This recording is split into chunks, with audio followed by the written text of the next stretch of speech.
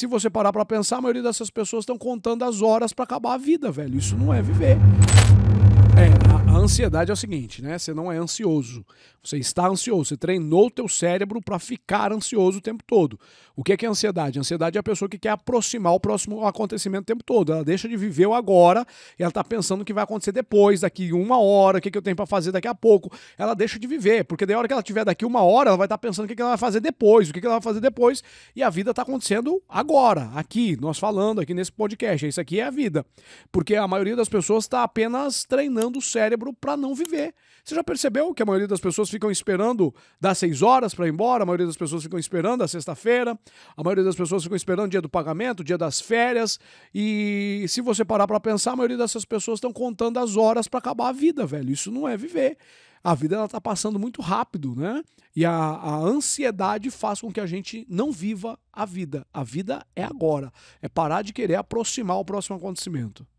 Olha só que chave, hein? Então o momento é o, é o aqui e o agora, viu, Anderson? É isso. É, falando um pouquinho, pegando esse gancho novamente aí dessa parte de futuro, de projeção, é, como que, que você enxerga a questão de visualização, de mentalização? É, é, qual que é a importância que isso tem em alcançar realmente um objetivo? Imagina o seguinte, imagina você vai sair com o teu carro e lá no GPS você não coloca um destino. Se você não tem um destino bem claro, o primeiro que o GPS nem vai funcionar. A mesma coisa é com a nossa mente. Se nós não temos algo bem claro na nossa mente, meu irmão, você não vai chegar a lugar nenhum. Então você vai ver muitas pessoas falando da lei da atração, ah, a lei da atração, e a maioria das pessoas se tornaram bitoladas na lei da atração, elas não sabem verdadeiramente como que funciona a lei da atração.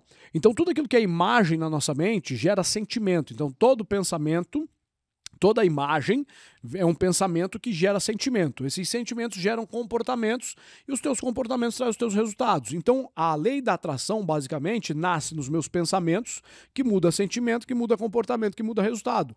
Então, as minhas imagens, as visualizações que eu faço são determinantes para os resultados que eu vou ter. E isso precisa ficar muito claro na tua mente. Se todos os dias você reforça essas imagens positivas, muito mais rápido você vai conseguir alcançar esses resultados. Muito bem, muito bem. Anderson, a gente tá bombardeando de pergunta aqui. Não, não tô dando nem tempo pro Anderson beber a água dele ali, viu? Mas a gente tem que a honra de estar nesse podcast aqui. A gente tem que aproveitar cada segundo aqui e fazer pergunta inteligente. Muito se fala nas redes sociais sobre como criar hábitos e produtividade. É, como que você, você diria para quem está ouvindo aí esse, esse podcast, qual é a melhor maneira de criar um hábito eficaz? Como talvez programar a mente para ter um hábito bom? Não dê o seu máximo. Você vai ver pessoas falando, cara, dá o teu máximo, vai fundo. Não dê o seu máximo. Dê o seu mínimo a todo instante, a todo dia. Porque se você der o seu máximo, mais cedo ou mais tarde você vai desistir. Quantas vezes você começou uma dieta no teu máximo, fazendo só proteína, baixo carbo e você desistiu da dieta? Quantas vezes você começou indo pra academia, dando o máximo e você desistiu da academia? Sabe por quê? Isso causou dor pro teu cérebro. E tudo aquilo que causa dor pro teu cérebro, teu cérebro vai desligar a chavinha e você vai parar de fazer? O que, que você precisa fazer? 1% melhor a cada dia. Se você não caminhava, comece a caminhar 5 minutos hoje, amanhã 6, depois 10, 15. Se você não lia nada de um livro, começa a ler meia página hoje, uma página amanhã, duas páginas, daqui a pouco você está lendo 10 páginas. Então, não dê o seu máximo, dê 1% a mais a cada dia. Se você entendeu que o jogo é esse, para desenvolver novos hábitos, e a galera que está assistindo escreve aqui embaixo assim, ó, eu faço parte do 1%. Se a partir de hoje você começar a dar 1% a mais a cada dia na área que você quer melhorar, a minha vida financeira não está do jeito que eu quero.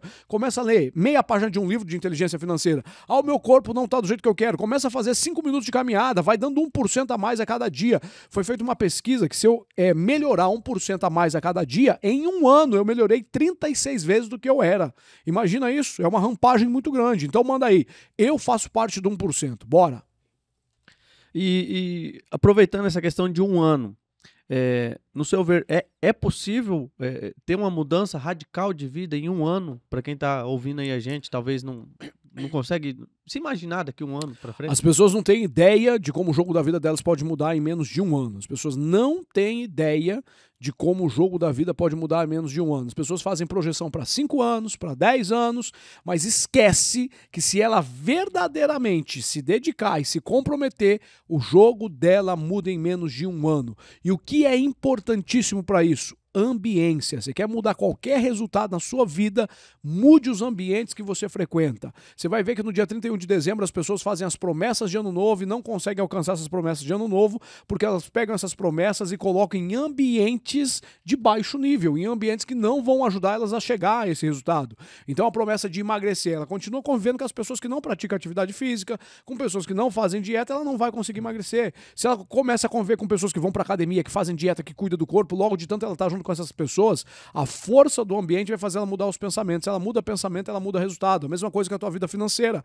Se você está convivendo com pessoas medíocres, pessoas medíocres é o quê? Pessoas medíocres é o que faz que a média faz. O que a média faz? Trabalha das 8 às 6, à noite descansa, fim de semana dorme, come churrasco, cerveja fim de semana. A média é essa. Se ela continua convivendo com pessoas medíocres, ela vai continuar tendo os mesmos resultados que ela tinha. Agora, se eu pego a minha meta e falo assim, não, pera aí, eu vou colar do lado desse cara aqui, que esse cara é focado em fazer resultado financeiro gigantesco, ele vai, vai colocar eu na pressão, eu vou estar do lado desse cara, em um ano eu mudo meu resultado. Ambiência muda resultado. Motivação não é nada perto da força da ambiência.